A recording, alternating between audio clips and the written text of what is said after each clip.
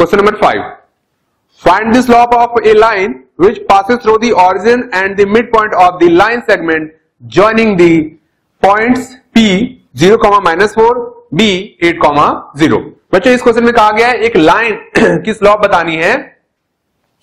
जो पीबी के mid point से पास होती है ऑरिजिन से और इन दोनों के मिड पॉइंट से पास होती है। मतलब इस लाइन का आपको स्लॉप बताना है। ओएम का बच्चों स्लॉप बताना है आपको। अगर हम फिगर बना के करते हैं तो। ठीक है? ये फिगर में समझ में आ मान लीजिए कि पी और बी यहाँ है ऑरिजिन यहाँ है। एग्ज़ाम्पल ले लिया हमने, है ना? तो इनका मिड पॉइंट मान लीजिए एम है।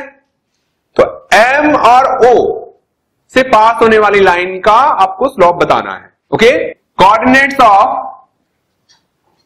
एम क्योंकि बच्चों ये इनका मिड पॉइंट है। तो x1 plus x two upon two y one plus y two upon two ये हो जाएगा बच्चों फोर कॉमा माइनस टू समझ में आ रहा है? भाई यहाँ मिड पॉइंट का फॉर्मूला यूज़ किया हमने, है ना? और एम के कॉर्डिनेट्स पता कर लिए। Slope of line O M is given by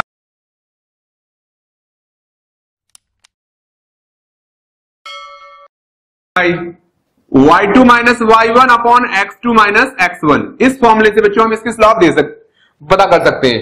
O M की स्लॉप है ना? That is y2 two minus y one मतलब minus two minus zero upon x two minus x one मतलब फोर माइनस ज़ीरो आप ये मान लीजिए कि एक्स वन वाई वन है, जबकि ये इसके जो कोऑर्डिनेट्स है, अभी जो आपने निकाला कोऑर्डिनेट्स क्या? Four comma minus two. ये एक्स टू वाई टू है। ओके तो y two minus y one upon x two minus x one का फॉर्मूला यूज़ किया आपने? है ना? तो ये मिल जाएगा। Minus two upon four, implies minus one upon two. इसे कैंसिल कर सकते हैं आप टू से two times. Minus one upon two. Okay therefore M is minus one upon two मतलब slope of O M is equal to minus one upon two ये आपका answer है।